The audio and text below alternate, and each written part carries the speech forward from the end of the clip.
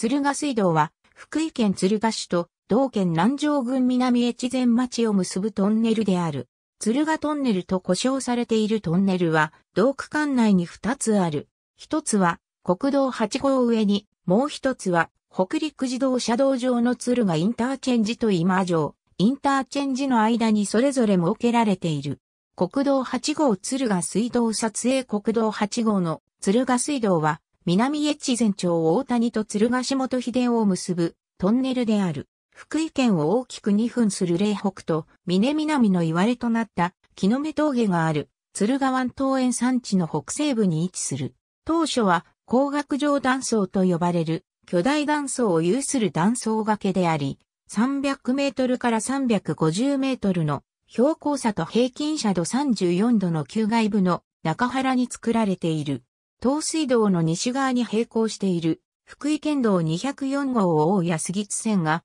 国道8号の旧道であり、東水道開通前は嶺北と峰南を結ぶ唯一の道路であったものの、平均福音4メートルの未舗装路であり、トンネルや長大橋梁をほとんど設けず、この断層崖にへばりつくように蛇行していた。また、地滑りや崖崩れなどの土砂災害が多発し、年間通行止め日数が1956年は24日、1957年は28日に及ぶなどの難所であった。昭和30年代に東水道を含む前後の区間の抜本的な拡幅改良舗装工事が進み、車道は2車線の福音が確保された。鶴ヶ市大秘伝の大秘伝交差点から東トンネル直前までの上り線には、途半車線も設けられている。なお、歩道は整備されていない。換気装置として多くのジェットファンが設けられており、合計15本以上ある。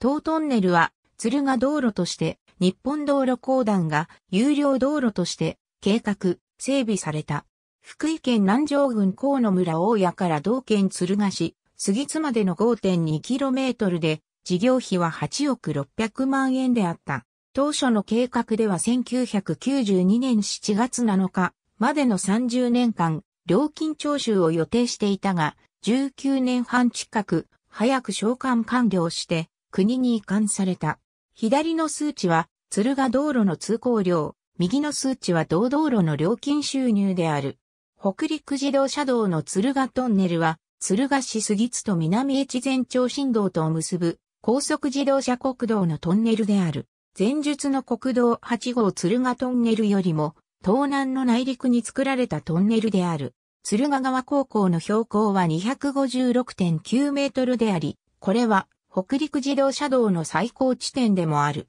長さは上り線が3225メートル、下り線が2925メートル。上り線のトンネルは北陸自動車道全体では小淵トンネル、一振りトンネルに次いで3番目に長く、北陸道のネクスコ中日本の管理区間では最も長いトンネルである。トンネル内で下り線が上り線をまたぐという全国的にも稀に見る構造になっている。このため、下り線の鶴ヶ川高校から一つ目の非常口と、上り線の鶴ヶ川二つの非常口は、走行車線側についている。その他の非常口は、追い越し車線側にある。さらに、北陸新幹線の新北陸トンネルが途中で上下2本のトンネルをまたぐ形で掘り進められる予定となっている。鶴ヶ川高校での高低差をつけるために上下線トンネルとも下り勾配になっている。そのため、トンネル内に設置されている電光の道路、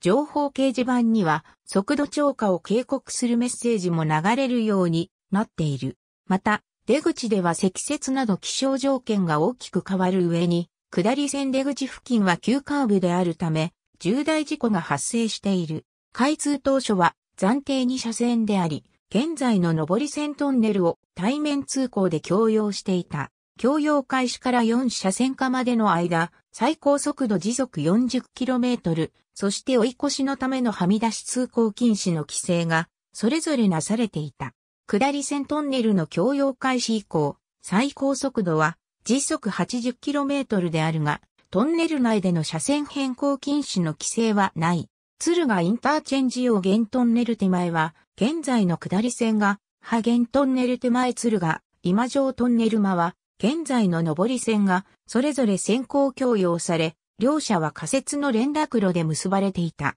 上り線は当初、横流換気方式となっていたが、1996年に天井板を撤去、ジェットファンが取り付けられ、以降は縦流換気方式となっている。下り線は供用当初より縦流換気方式であるが、2km を超えるトンネルでは全国初のものであった。上り線はルーバー型だったが、2014年に換気設備撤去が行われ、現在は面壁型である。なお隣接する今城トンネルも同型だったが、同時に改築された。下り線は共用当初より面壁型である。E8 北陸自動車道鶴賀インターチェンジ、杉新 PA、鶴賀トンネル今城インターチェンジ、ありがとうございます。